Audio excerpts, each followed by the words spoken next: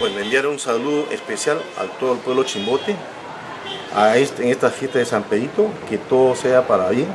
Esperamos en todo caso que derrame pues, San Pedrito, como es el patrón de la pesca del puerto Chimbote, sus bendiciones para que en todo caso se mejore no solamente el recurso hidrológico que tenemos ahora, que hace falta, sino también que permite en todo caso el desarrollo económico y la generación de trabajo que tanto necesitamos. En ese sentido, un efusivo saludo a este pueblo luchador, trabajador, al pueblo chimbote. A pesar de la crisis, seguimos acá adelante nuestra familia y al mismo pueblo.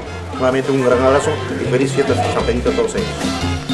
A Chimbote, tierra bella, hoy te canto para ti, primer puerto pequero del mundo.